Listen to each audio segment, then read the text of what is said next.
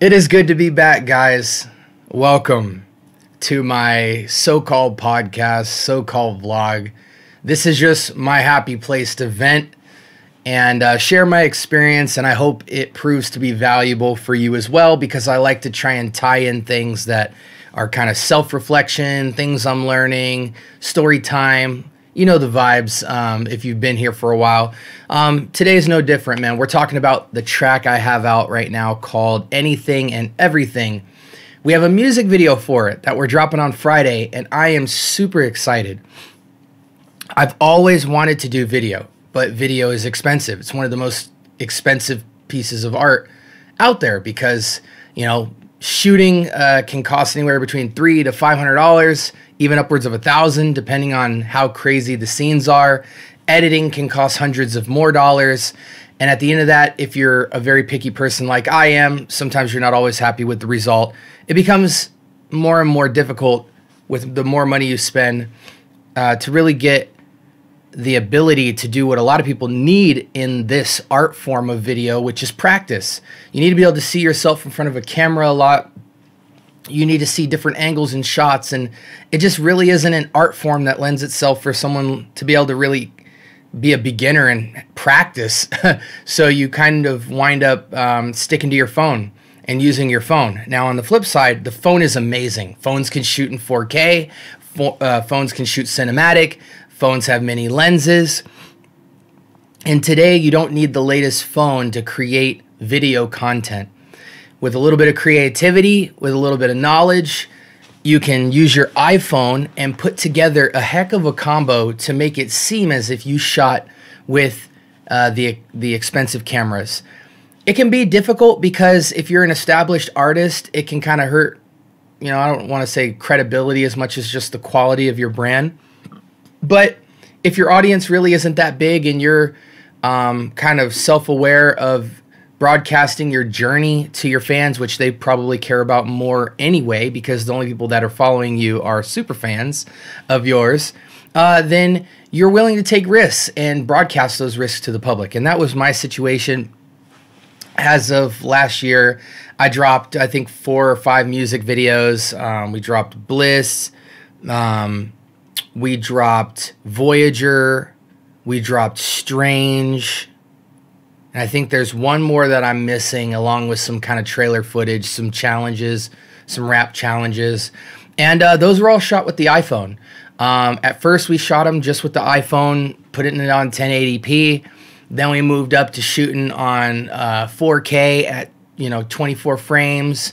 Then we were messing with 1080p at 60 frames and 4K at 60, messing with all that. Then I learned about LUTs and color grading and how that can impact the video quality. fast forward to now and we're learning different ways to point the camera at the artist and hunting for different locations in the valley that I think are cool that might be fun to shoot. And uh, I've had a great friend of mine helping me out along the way, donating his time. Um, and he's just been awesome because I can just bounce ideas. We're both like have no business being outside with a camera, but he's the homie. So, and I need to make visuals. So we want to learn. And uh, he's been patient and uh, kind enough to shoot video content for me. I've kind of directed his steps. He's naturally gotten better and formed a little routine. And we just have a bond in that space where we're just shooting video content and seeing what can happen as we grow in knowledge and learn from different mistakes. And so now we're at uh, the next video in the progression of the art journey with video, which is anything, everything. As I said before, it drops Friday. And I just wanted to make a vlog so that I have video content to put on my Instagram uh, and YouTube channel. Kind of just forecasting what to expect, things that went into the record. I want to talk about two things today the song itself and then uh, I've got some notes here because I just haven't had time to really script in my mind where I want to go with this. So I just wrote down all my thoughts and we're going to roll with that. We're going to talk about the song itself and then we're also going to talk about my experience with the video. And I I always say I want these videos to be quick. If I could finish this video in 10 minutes, that would be awesome. I'm looking at the deal right now. We got 5 minutes left. So hopefully I can speed through these, but in true conscience fashion, we're going to run 5, 10, 15 minutes over as usual, probably. So, anyways, what is this song about? Song's called Anything and Everything. In a nutshell, this song is about relationship. The unique thing about a Christian is the Christian life is not one where relationships are just two ways. Um, there's a third person, a third more important person involved in the relationship, and that is the Lord. And the Christian seeks to honor the Lord in his relationships, not just friendships, but in intimate relationships, uh, the marriage, um, the spouse. Um, and it's a special relationship. It's unlike any other relationship. Um, it is created by God, it is sustained by God. God gets all the glory. Uh, but when his glory is on display in marriage, you see longevity, you see patience, you see the fruits of the Spirit. You see tons of things in the relationship that, despite things that both the spouses fall short of, as well as external circumstances, God is able to sustain and for them to thrive primarily in a joy and a peace in the Lord, which sits above all other temporary satisfactions. But even at a horizontal level, marriage is amazing. I can speak to that. I've been married for this will be my 10 year anniversary in August, and I've been with my wife for almost 15 years. And I can truly say that when I pursued my wife, I said to the Lord, Lord, I know I've given some of my relationships to you, but I want to be all in with this. I want to glorify you by serving this person with you in mind and to say what what does a woman of God look like? What does a man of God look like?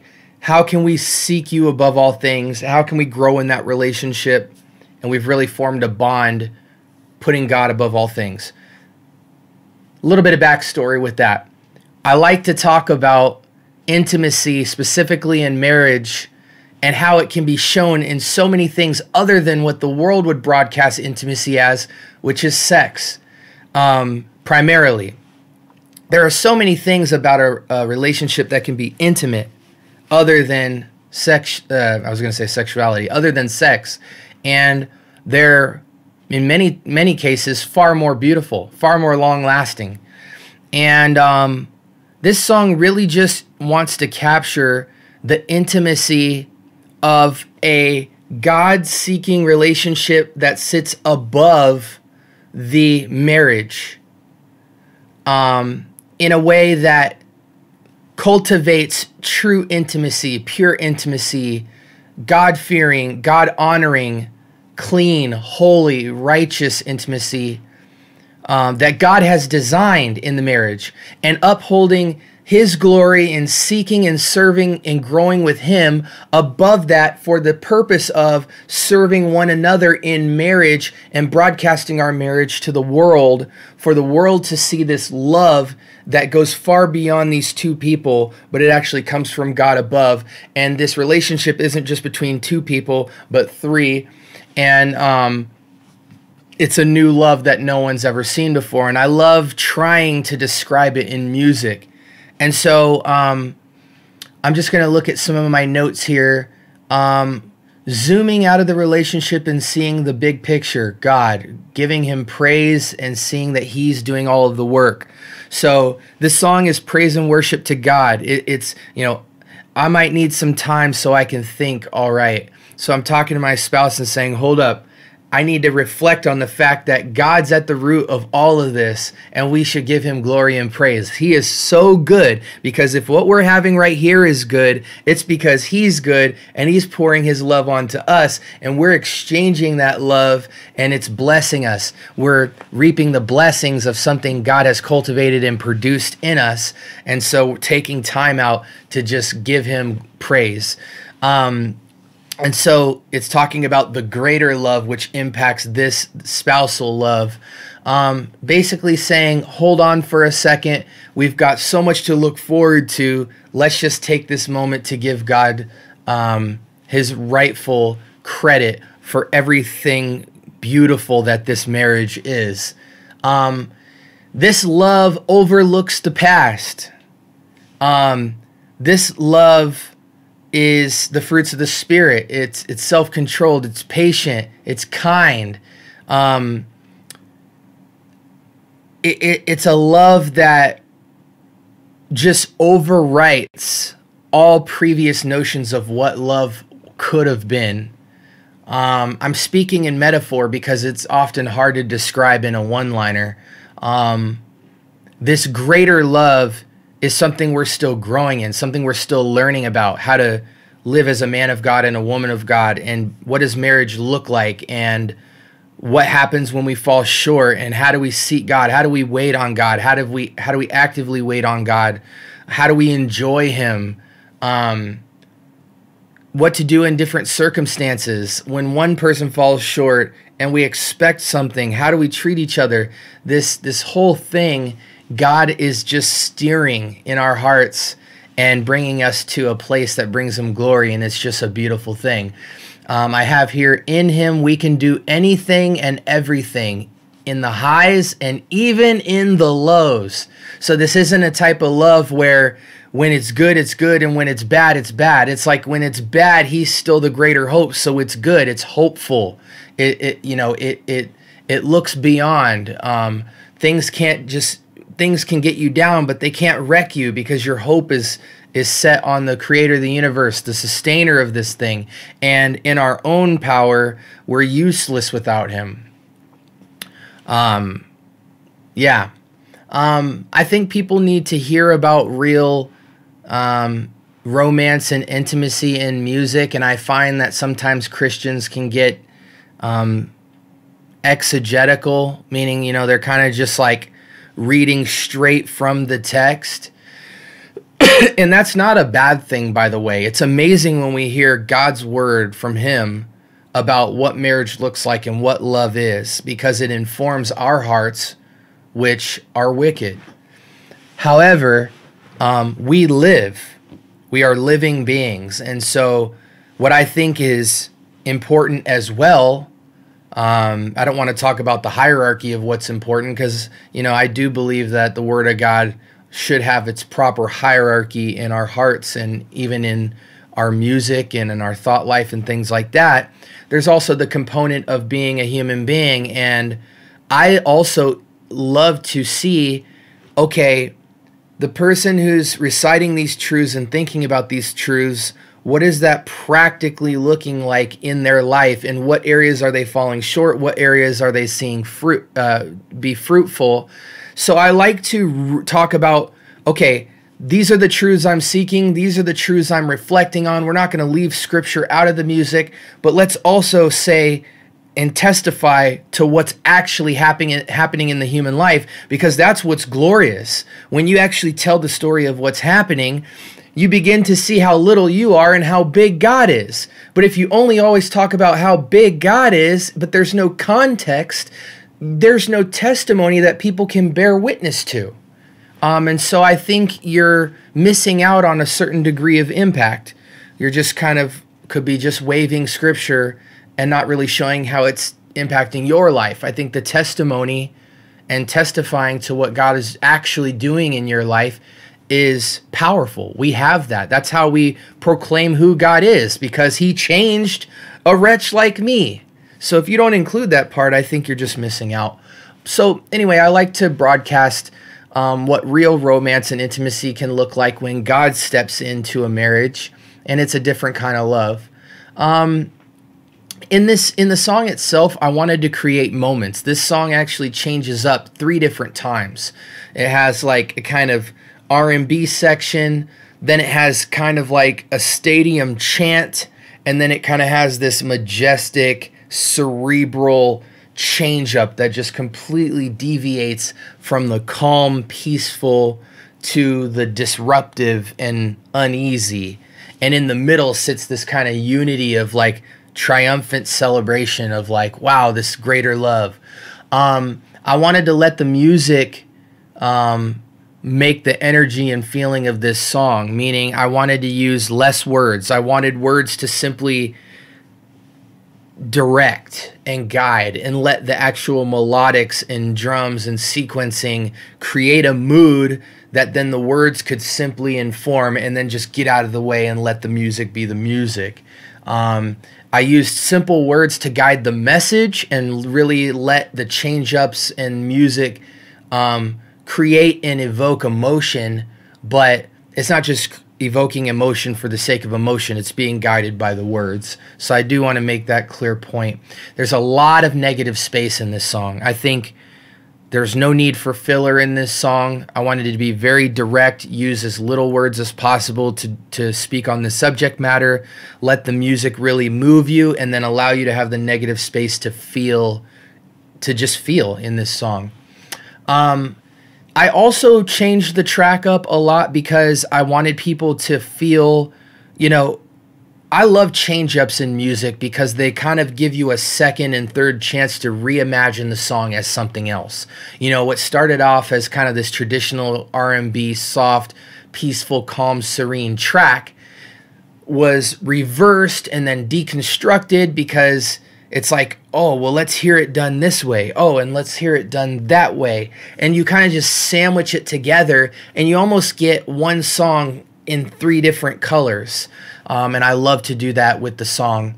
And it just creates a really cool vibe. I love to think of my music nowadays as experiences, um, not just, you know, 16 bar chorus, 16 bar chorus. I think we're done with that era um, in a lot of regards in hip hop people are trying to make experiences, no matter how short or long the song is, having attention to detail to every line. And if you take it line by line, you allow yourself to be free of changing something musically or changing something with your words, changing an articulation, and that creates lots of moments because you're spending more attention to detail on a moment by moment basis. You're not just writing a 16 and with the only objective of, well, all this has to rhyme or all of this has to be sang. It's a much more complex way of art making. It's very much present and in the moment. Now, let's move on to the music video real quick. I see I've hit 18 minutes, like I said, typical conscience fashion. Let's talk about the music video. Um, I try to really stick to the Arizona landscapes when I do my music videos. Um, I love the openness, the flatness of Arizona. You know, this flat valley that's just surrounded by different pockets of mountains and landscape. And um, there's even some cool architecture, but I like the minimalist approach to my music. I really like to evoke a sense of God's earth. And, um, so I like open plains. I like um, mountains. I like being able to see the sun and the open sky. I like less buildings, not a lot of cars, things like that. So, you know, when you look at my angles and my cinematography and the color palettes, I like to go more natural in terms of the landscape and backdrops that I'm shooting in, but I like to use color grades to then spice it up and kind of reimagine that nature in a more futuristic or vintage um, coloration. And so, you know, there's a lot of Arizona landscape, and I don't think I'll ever get away from that, at least for right now. Um, a funny story about this music video is I had two or three locations that I wrote a treatment for. Okay, we're shooting here at this time, I want these angles in these shots. And then when I actually dropped the little guy on the Google Maps to like look at the landscape the day before the event, um, it sucked because I noticed there was a gate around the entire location and we were shooting right at around 5 to 7 p.m. So, you know, kind of golden hour time. And uh, I didn't have time to see um, there the gate had an opening somewhere or whatever like that. So we, you know, long story short, at the end of writing this treatment for three different locations and finding out all of them had gates around them or some kind of hurdle, I last minute scrapped it and had to start looking close in my neighborhood because we had no time to be searching around for locations. And thankfully, the two or three locations I had in mind were right down the street from my house, and we were able to get just some of the coolest um, shots, and and that created this music video. And I'm super happy that we scrapped those locations. You know, looking back, um, I'm much more happy with these locations because we got creative and it kind of had the setting and vibe I was going for anyway. But it was definitely all God, um, being that we had to pretty much scrap our entire idea. Um, let's see, capturing a calm with no background but God's creation. We talked about that. A new place free of clutter, distraction, and noise. You know, I'll again just to reiterate with a kind of minimalist approach. I think less is more. When there's less going on in the picture, it kind of frees your brain up to just have its own creative thoughts and not have the bias of being guided by that car or that rusty building or whatever. It's just the less that's on the picture, the more you can really feel the music, appreciate the little things going on, and just be free to roam with your thoughts as you interact with the music. Um, this video was shot with an iPhone. I shot it in 4K uh, on an iPhone on the 13, I believe, 13 Pro Max. Um, and uh, again, it was shot in 4K at 24 frames a second. Um, and I think you'll be surprised by it. It looks semi-professional you know. I'm not the best editor in the world. I have almost no experience. I kind of went to youtube university last minute to learn some things on the transitions and but i think we did an amazing job and the picture that's captured from the iphone's amazing. Whether you have a gimbal or just you know running gun shooting i think you can pull off a lot of creative shots you know even just the cheap tripods where you can set your phone in it and spin it around. Um, you know, you can create some amazing shots uh, for almost no money. And uh, you certainly have no excuses if you have an iPhone to just kind of get out there and start filming. I think people are too concerned with how good they look. Um, there's a lot of people that don't have audience sizes that justify how insecure they are with showcasing and kind of stepping out into that artist journey with video. We all have cell phones. There's just no reason why we don't shoot some sort of visuals and see ourselves look terrible and slowly build upon that. We want to just kind of skip to greatness. Um, and I know a lot of people just simply can't afford professional music videos. So it makes all the more sense to get out there now and just start. You know, not all of us are going to be making our own music videos in five, ten years, um, but we definitely need to start if we don't have a resource. So it was just cool. As you watch this video, just remember it was all shot on a cell phone um, with a, just a piece of software for editing.